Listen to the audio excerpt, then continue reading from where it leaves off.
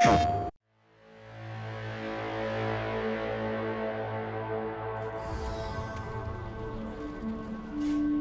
years ago, our home world was swept away in a tide of so-called justice. Millions of men, women and children lost their lives. But some of us refused to lay down and die refuse to accept your shallow pleas for forgiveness.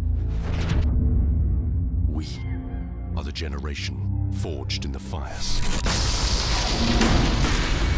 And this is our day.